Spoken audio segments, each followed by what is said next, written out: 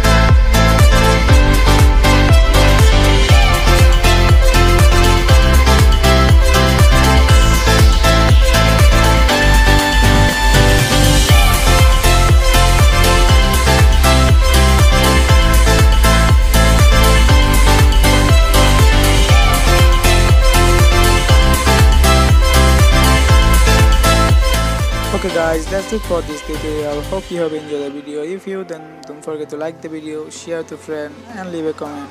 And i'll see you in the next one. Till then take care